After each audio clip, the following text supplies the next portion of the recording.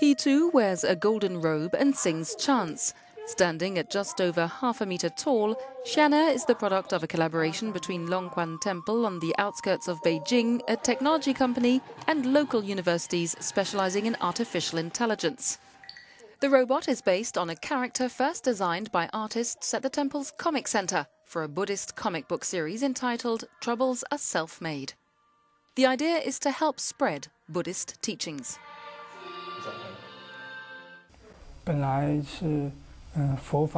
It was originally the product of a combination of Buddhism and science. In this way, it shows that science and Buddhism are not opposites and can be combined and are mutually compatible. Xian'er can move on command and hold simple conversations, answering questions like, What is love? or What's the meaning of life? Introduced to the public last October, the robot already has quite a following on social media where he provides homilies and advice. Normally, a temple in traditional culture is seen as a very serious place, says this tourist. But he comes in a very cute form, and it's quite a contrast, a cute contrast.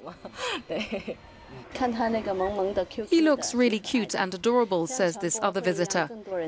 He'll spread Buddhism to more people since they'll think he's very interesting, and he'll make them really want to understand Buddhism.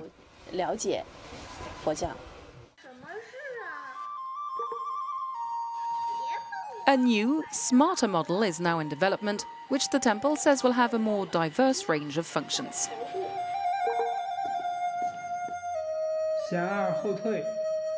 Boom.